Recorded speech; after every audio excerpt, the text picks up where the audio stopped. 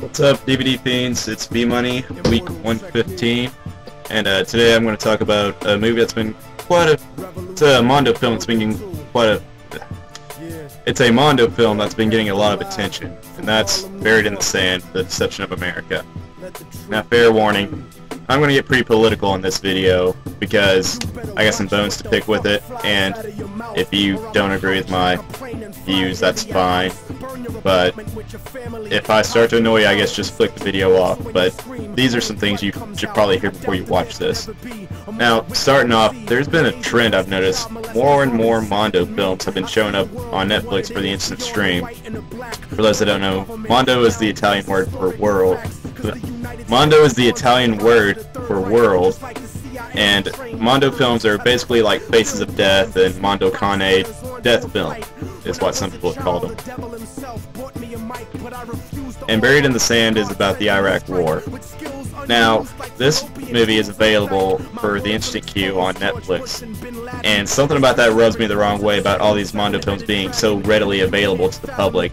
Something that extreme shouldn't just be able to be that easy to attain. I don't know, maybe it's me being an elitist or whatever, but I don't think so. I think that if you're looking for something that extreme, you should have to dig for it, see what exactly you're getting into. It's like my friend Corey. I showed him a Serbian film because I knew he could handle it. But lately for Yucks, he tells people to go watch it. I'm just like, dude, don't do that. They are not ready. And so on.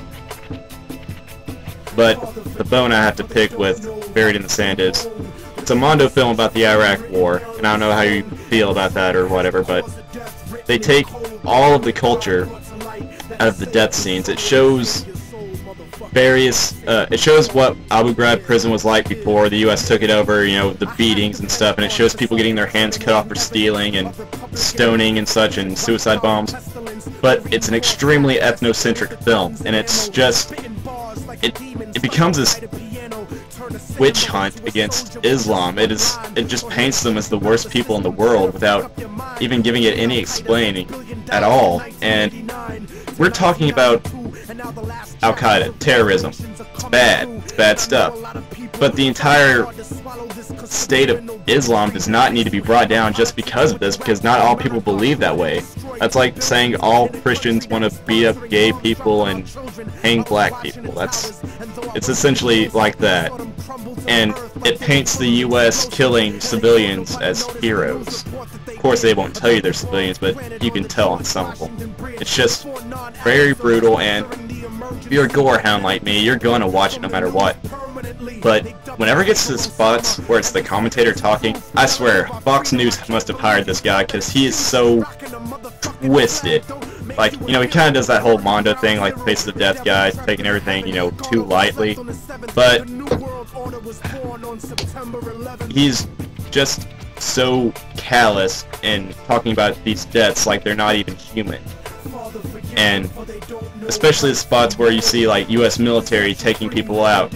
He paints it like, you know, it's this fabulous thing, and it's not. Those are people's women and children just because they believe different than us, you know, it makes them less human, it makes it alright, it makes it okay to cheer when stuff like that happens. Well, the first time I watched this, I watched it with my friend and his dad, and his dad's got very different views than me, but this movie, it's essentially a snuff film in the sense that instead of monetary gain for death on film, you're getting propaganda out of it because it shows you these brutal images and it sucker punches you with a patriotic fist to the gut. And I honestly believe that's what the intention of the movie was, was to just get Americans pissed off, because when you're pissed off, you don't think straight, and you agree to shit that doesn't make any sense. So, basically that's it, and, alright, Jeff, if you're watching this, don't get mad at me, but you fell right for it, man. Because the whole time he was just getting angry, he's like, oh, those fucking barbarians, and all that shit. But it's taken all the culture out of it, you know, those aren't practices that are condoned by modern people of Iraq and Iran. It's just a mind fuck and a half. And if you watch this and you don't know anything about it, it will get you. You will get you'll be a pissed off American ready to watch some NASCAR, drink some beer and blow up some countries, but you have to not look at it in this ethnocentric way. You have to keep an open mind, otherwise you're gonna fall exactly what they want you to fall for. Hold on. I will text you back later, Aaliyah. Basically what I'm saying is, you're gonna watch it because it's violent and it's brutal. That's why I watched it. But please don't fall for this stupid, stupid shit. And it's easy to fall for it. I found a few parts getting me a little emotional, a little revved up. But you have to put everything in context, and that's exactly what this film doesn't do. It just takes it out of context and makes you this angry, vengeful person for no reason. It demonizes an entire religion and country in one fell swoop. So just watch it, but keep an open mind. Uh, there are some pretty brutal scenes in there actually talking about the movie. The political rant's over. Uh, you see people getting their hands cut off for stealing. You see people buried up to their waist and getting stoned to death. Not, see people getting beaten and whipped in Abu prison. You see the aftermath of suicide bombers. Chunks of meat just hanging from shrapnel of an exploded bus. An eight-year-old girl's leg severed with his little Barbie backpack beside it. It's rough stuff, and it will, it'll get to you if you aren't careful. Anyway, this is my review. See you next week.